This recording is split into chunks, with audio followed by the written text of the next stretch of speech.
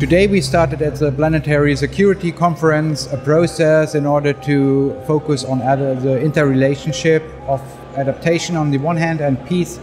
building on the other hand. Our objective is for the next three years to summarize what are the challenges and options for um, assessment processes, policy planning and programming, and the implementation process. And Adelphi is facilitating this process, and what we try to do is also to generate some insights what conflict sensitivity means in this very concrete um, context. So we are looking for good practices on the ground, especially in fragile uh, regions in, in, and countries in order to, to show um, under what conditions adaptation is possible and can have an, a positive impact on the overall um, environment, including also the political environment.